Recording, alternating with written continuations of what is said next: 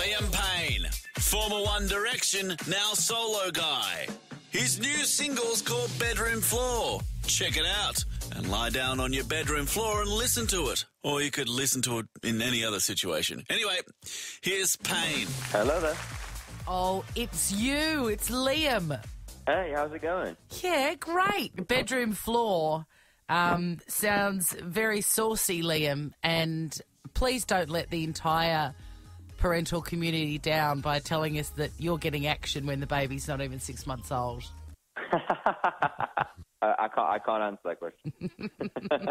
Exactly right. Hey, going on uh, mute on the video hit, hit when the video hit drops, uh, or the video clip drops. I want to know, and I ask all the uh, famous musicians, how many goes did it take? Because I, I'm, I'm fascinated. Did it take you 100 goes? You're a, are you a one hit wonder, Liam? With the music video, Yeah. um, well, I mean, they do a lot of different takes. I think people always try to cover themselves. So you do so many different takes in so many different environments. It's so funny to see it cut down to a clip of three minutes thirty something when you've spent like the whole day from, and you know they do nighttime shots of different bits as well. Um, yeah, I mean, you know, you do so many different shots uh, throughout the day, and it's just funny to see what what hits the cutting room floor uh, in the end. Um, full disclosure, Browny here, who you've just been talking to, uh, Niall has has been over to his place having beers. They're actually quite good friends.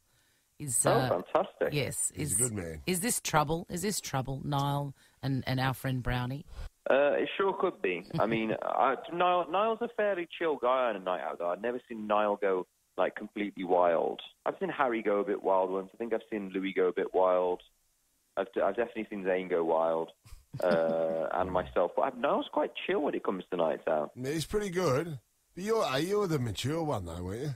You're the one that pulled all the boys in Uh, the well, line. apparently so. Somehow, somehow I, I, uh, I took that name on, but I'm not. I'm not so sure myself. You do sound Okay. that way. Do you ever wonder, like, because how old were you when the whole One Direction thing took off? I was 16 when we first started. So really, like you, you will never have a normal life, an ordinary life. Um. Well, I mean, what's what is an ordinary life? To flip the question. Well, a- you know, a, a, a person Walking that, down the street not getting recognised. yeah, and, and a person that you know hasn't Oh, no, hasn't it been a depends where you global a global superstar.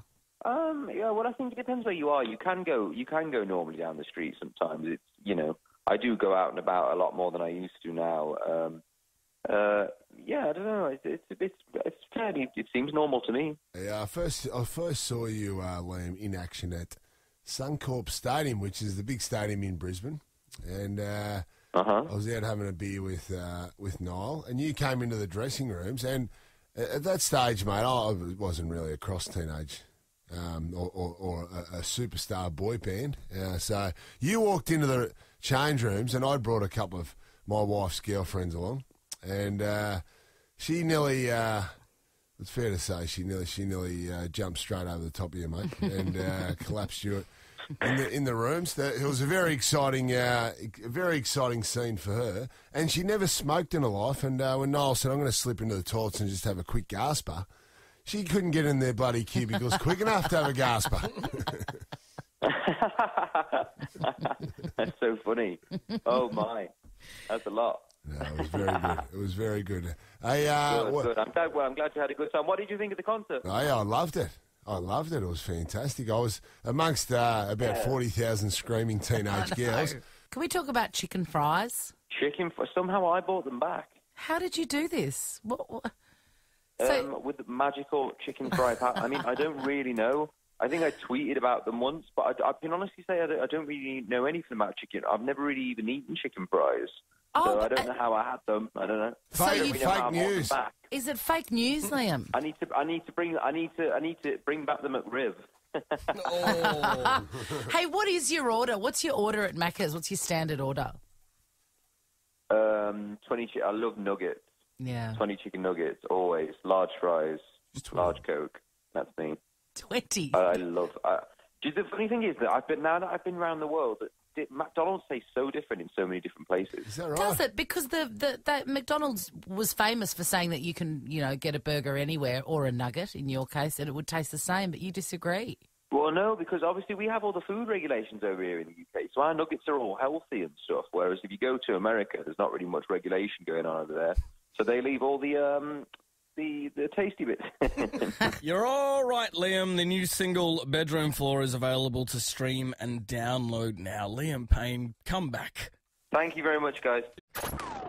We are pumped up because I just get so excited when Tommy, our producer, tells us that we're getting this man on. It is the beautiful Liam Payne. How are you, buddy? Hey, good morning, guys. Or good morning or late night. Good, Oh. well, good morning for us. knows? Probably late night for you. What time? Where and what time is Who it for you? It's quite it's quite early at the moment. Oh, where, where are you But I currently, mean, four Liam? o'clock in the morning. Four o'clock in the morning is either a good morning or it's quite a late night. Well, I mean, in terms of your schedule at the moment, um, Liam, are you up doing the midnight feed? I mean, is you and Cheryl sharing the load? Is Bear on the bottle? How does it work at home? Do you know what? I, I, I hate to make parents jealous, but he sleeps the whole way through the night. No, he He's just gone to doesn't. bed now, and he won't wake up till seven o'clock tomorrow. So You're kidding me. What, seven to seven? no, he's like he's like a super child. He's like a small little miracle baby. No way. Everybody right now hates you. That Liam. is not fair. Uh, if I he's make good songs and I make good babies. Yeah. That's what I'm into. That's What the title of my book. What do I do? Music and babies. But I mean, he must be what nine, ten months old now. Has he thrown out a daddy yet? Yes, he's starting to throw out a dada. He's seven months old, um, and he just he did that thing where you know where they like park their bum up in the air like they're about to crawl, but he just doesn't get it yet. His face Yeah, is still on sure. the floor, and he's like, "Oh man, I want to move, but I don't know where I'm supposed to go, and I don't know why I'm going. I, I want to go somewhere." Uh, buddy, I got all the parts. I just got to make them work together. Yeah, I know that. What do these things do? These limbs of mine. It's so funny. Mate, we, we need you Yeah. back out here in Australia again. We just had a good mate of yours. We just had Niall. Actually, he left a message for Yes. you, Liam. He said you guys were going to catch up this week. Is that correct? Yes, I'm going to try and catch up with him at some point. I would, I, I, you know, I'm spreading the word out there at the moment though, because I think it's very important that we look at the legalities of these things. And I'm not sure whether he's been there more than 90 days. So, you know, we need to get border control Yeah. on the line Yeah, this because is that true. guy's been in that country for far too long. We got to check to see if he's got his visa, but this is the message that he had to leave for you. Hello, Payno. It's Niall here. I just wanted to say hello. You want to watch out with these two, Fitzy and Wippa. They're dangerous, as you know. If you have any problems, give me a shout. I've got their numbers. I'll have a chat with them afterwards. Payno. Payno. Look at that. He's got my back. He has my back. he loves you, buddy. He really does. He's not going to let you fall. Bless him. I know. I mean, I was just saying, you know, Ni- Niall's such a friendly, friendly, friendly bloke.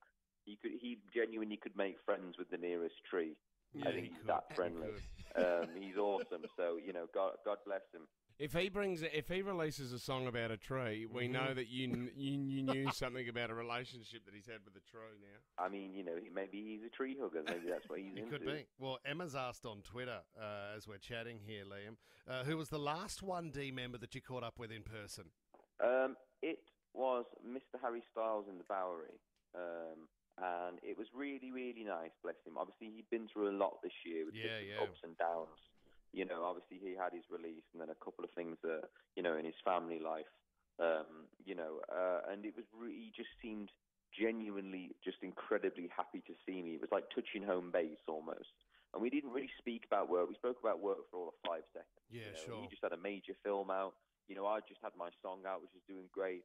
And we didn't really speak about any of that That's good. nonsense. It was more focused on the fact of just so good to see you, man.